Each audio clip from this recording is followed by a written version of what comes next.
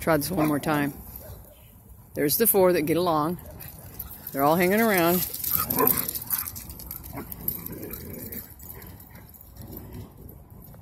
Sakara, of course, you know which one she is. The little silver guy, Skoda. The black and white uh, female is the one that's in charge. And she will put Sakara in her place, but she has not hurt her.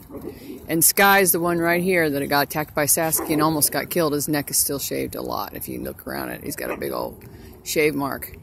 He got bit twice on, uh, or puncture wounds on either side of his uh, jugular vein and across his neck on Halloween night. And he was dying in my son's arms. And we saved him. Whoops, watch out, he ran into me. Now, actually, I pair him up with Sakara a lot. And uh, even though he's the oldest and he doesn't, you know, want to mess around with the puppy a lot, he's very good to her as well. She's still submissive, you know, but they don't hurt her. And she plays really well. Just like you might want to see what your baby girl's doing.